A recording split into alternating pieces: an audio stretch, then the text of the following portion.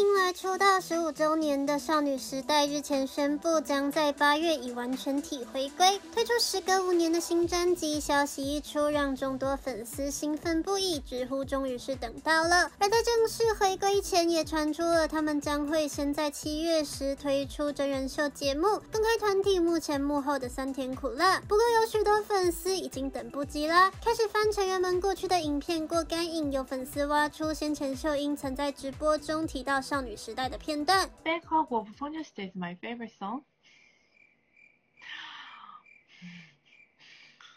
I don't even remember.